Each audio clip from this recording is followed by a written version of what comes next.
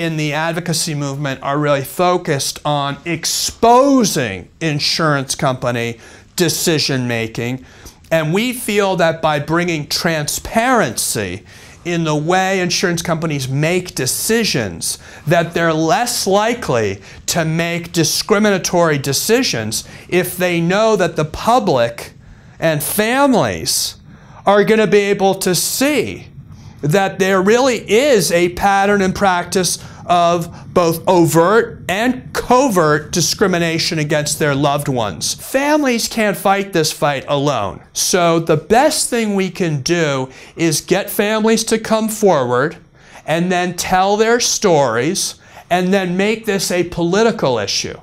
And when you make it a political issue, you can put pressure on public officials to now respond and force the insurance industry to be accountable. And I think that's the way we need to go in order to get the Parity Act, as it's known, enforced and in order for us to address the biggest public health crisis of our time.